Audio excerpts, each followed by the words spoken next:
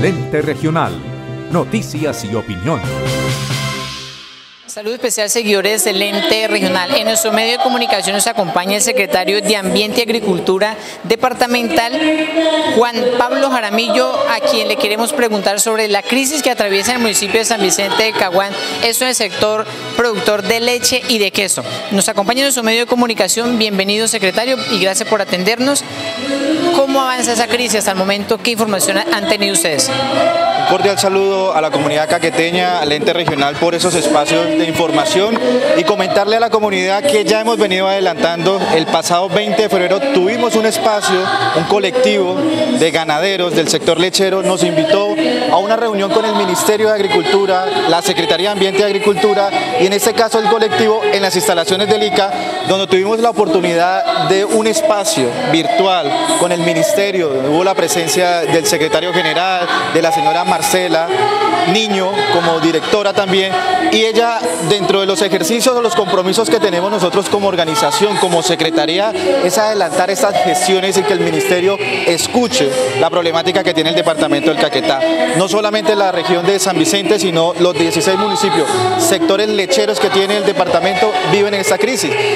Para el 5 de abril tenemos una reunión con el Ministerio, esperamos la visita del ICA, esperamos la visita del INVIMA, de las instituciones, de los productores, de las empresas que transforman y específicamente de la Secretaría, un espacio donde podamos llevar esas líneas, ese trabajo para empezar a salir de esta crisis, por los bajos precios de la leche y lo que nos mencionan los amigos del San Vicente del Caguán en esos momentos, que ya el productor no tiene a quién venderle porque las empresas no tienen la capacidad.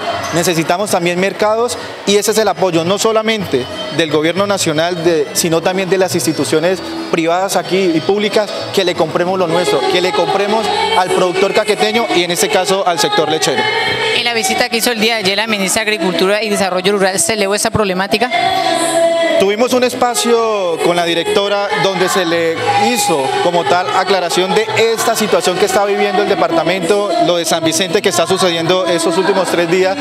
Y le dijimos que necesitamos que el ministerio haga presencia aquí en el territorio, que nos acompañe. Aquí la institución, gobernación tiene las puertas abiertas al diálogo, a que ellos desde las herramientas que tienen nos las pasen o directamente ellos y empecemos a guiarnos una ruta de trabajo para que los productores también puedan salir de esta crisis.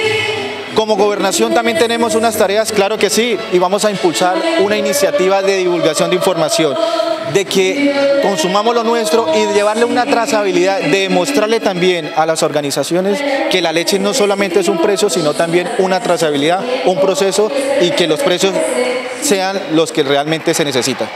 Es decir, y por último, aclara que la Secretaría de Ambiente y Agricultura Departamental está comprometida para dar solución a esa problemática.